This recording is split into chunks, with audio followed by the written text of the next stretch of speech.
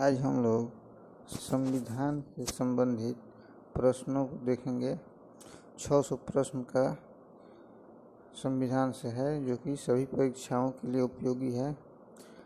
संविधान से इससे बाहर कुछ भी नहीं आएगा। चलिए शुरू करते हैं। और अच्छा लगे तो लाइक और शेयर बढ़ाइए। तब ना अच्छा अच्छा कंटेंट लाएँगे। चलिए शुरू करते हैं। संविधान से संबंधित महत्वपूर्ण प्रश्न। पहला दिया है, संविधान सभा में किस रियासत के प्रतिनिधियों ने भाग नहीं लिया? तो हैदराबाद के रियासत ने भाग नहीं लिया। संविधान सभा में कुल कितनी महिला सदस्य थी? तो पंद्रह महिला सदस्य थी। संविधान सभा में देशी रियासतों के कितने प्रतिनिधि थे? तो सत्तर प्रतिनिधि थे। संसद को संविधान संशोधन का अधिकार किस अनुच्छेद में है? तो अनुच्छेद तीन सौ अड़सठ में संशोधन का अधिकार है। संसद द्वारा पारित विधेयक राष्ट्रपति द्वारा स्वीकृति या फिर अस्वीकृति का उल्लेख किस अनुच्छेद में किया गया है? तो 111 में किया गया है। संसदीय प्रणाली को कौन सी प्रथा भारत की देन है? तो शून्यकाल संसदीय प्रणाली की भारत की देन है। संस्कृति और शिक्षा संबंधी अधिकार का उल्लेख संविधान के किस अनुच्छेद में मिलता है? अनुच्छेद 29 से, अनुच्छेद 30 तक संस्कृति और सभ्यता से मिलता है। सातवें वित्त आयोग की अवधि क्या थी? उन्नीस सौ उनासी से चौरासी सातवें वित्त आयोग की अवधि थी। सातवें वित्त आयोग के अध्यक्ष कौन थे? तो जेपी सेल्ट जेपी सेल्ट, साधारण विधेयक से संबंधित गतिरोध को दूर करने के लिए संसद के दोनों सदनों की संयुक्त बैठक कौन बुलाता है? तो राष्ट्रपति बुलाते हैं। चलिए आगे देखते हैं। सिंधी भाषा को किस संवैधानिक संशोधन के तहत आठवीं अनुसूची में जोड़ा गया?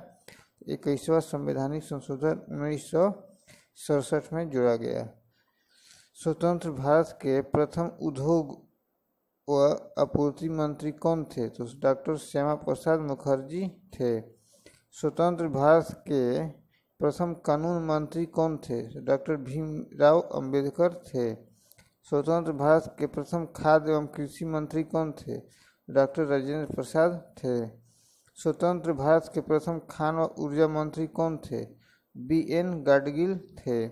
स्वतंत्र भारत के प्रथम गृह मंत्री कौन थे? तो सरदार वल्लभ भाई पटेल थे।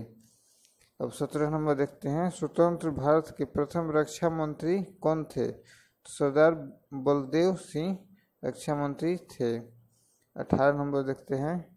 स्वतंत्र भारत के प्रथम राष्ट्रमंडल तथा विदेशी मामलों के मंत्री कौन थे? पंडित जवाहरलाल नेहरू थे। उन्नीस नंबर, स्वतंत्र भारत के प्रथम रेलवे एवं परिवहन मंत्री कौन थे? तो जान, डॉक्टर जान मथाई थे। अब बीस नंबर देखते हैं, स्वतंत्र भारत के प्रथम वाणिज्य मंत्री कौन थे? तो सी एच भाभा थे। चलिए इक्कीस नंबर देखते हैं। स्वतंत्र भारत के प्रथम वित्त मंत्री कौन थे? तो आर के सन्मुखम, सन्मुगम सेट्टी थे। स्वतंत्र भारत के प्रथम शिक्षा मंत्री कौन थे? तो डॉक्टर मौलाना अब्दुल कलाम आज़ाद थे। स्वतंत्र भारत के तेईस नंबर, स्वतंत्र भारत के प्रथम श्रम मंत्री कौन थे? तो जगजीवन राम थे। चलिए चौबीस नंबर देखते हैं। स्वतंत्र भारत के प्रथम संचार मंत्री कौन थे? तो रफ़ी अहमद किदवई। स्वतंत्र भारत के प्रथम सूचना व प्रसारण तथा राज्यों के मामलों के मंत्री कौन थे? सरदार वल्लभ भाई पटेल थे। स्वतंत्र भारत के प्रथम स्वास्थ्य मंत्री कौन थे? तो राजकुमारी अमृत कौर थी। चलिए अगला देखते हैं, सत्ताईस नंबर। स्वतंत्र भारत के में भाषा के आधार पर गठित होने वाला पहला राज्य कौन सा था? तो ये था आंध्र प्रदेश, पहला राज्य, जो कि एक अक्टूबर उन्नीस को गठित हुआ था, जो कि भाषा के आधार पर स्वतंत्र था। सो, चलिए अट्ठाईस नंबर देखते हैं। स्वतंत्र भारत के निर्माण के लिए क्रिप्स मिशन भारत कब आया? तो 1942 को आया था क्रिप्स मिशन। स्वतंत्र स्वतंत्रता उपरांत गठित अंतरिम मंत्रिमंडल में कानून मंत्री किसे बनाया गया? तो भीमराव अंबेडकर को बनाया गया। चलिए तीस नंबर देखते हैं। स्वतंत्रता का अधिकार का वर्णन किस सम, अनुच्छेद में किया गया है?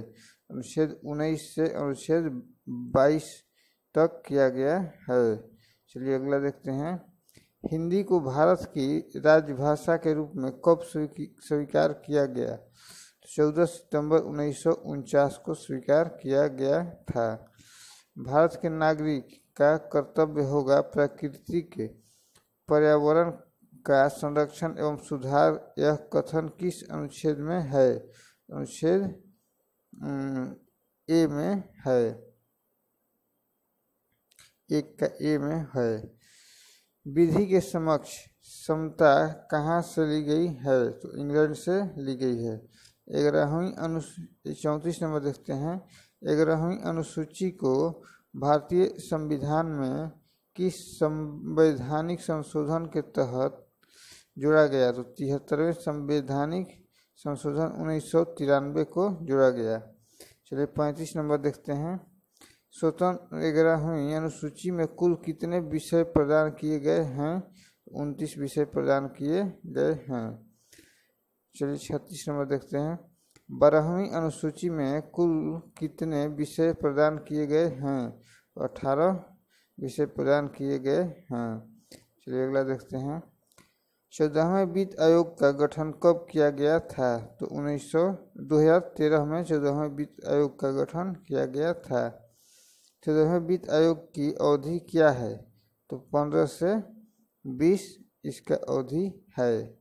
चौदहवें वित्त आयोग के अध्यक्ष कौन है? बाई बी रेड्डी हैं। चालीस नंबर देखते हैं। सत्रह सौ तिहत्तर ईस्वी के रेगुलेटिंग एक्ट के तहत सत्रह सौ चौहत्तर में कहाँ पर प्रथम उच्चतम न्यायालय की स्थापना की गई? तो ये की गई कोलकाता में। इकतालीस नंबर देखते हैं। सत्रह सौ चौहत्तर में कोलकाता में स्थापित उच्चतम न्यायालय के प्रथम मुख्य न्यायाधीश कौन थे? Sir Elijah Impey Elijah Impey थे। बयालीस नंबर देखते हैं। उन्नीस सौ तिरपन में गठित राज्य पुनर्गठन आयोग के अध्यक्ष कौन थे? फजल अली थे। तैतालीस नंबर देखते हैं। उन्नीस सौ छियासठ में किस संवैधानिक संशोधन के तहत चुनाव आयोग के अधिकारों में परिवर्तन कर उच्च न्यायालय को चुनाव याचिका सुनने का अधिकार दिया गया है? तो उन्नीसवा संवैधानिक संशोधन में दिया गया है। चौवालीस नंबर देखते हैं। उन्नीस सौ इक्यानवे ईस्वी में कौन सा संवैधानिक संशोधन करके दिल्ली को रा, राष्ट्रीय राजधानी बनाया गया? तो उनहत्तरवा संविधान संशोधन करके बनाया गया दिल्ली को था। पैंतालीस नंबर देखते हैं। 26 नवंबर उन्नीस सौ उनचास को संविधान के कुल कितने अनुच्छेद लागू किए गए थे? तो 16 अनुच्छेद लागू किए गए थे। छियालीस नंबर देखते हैं। दो सौ छियानवे सीटों पर संविधान सभा के लिए हुए चुनाव में कांग्रेस ने कुल कितनी सीटें जीती थी? दो सौ आठ सीटें सीटें जीती थी।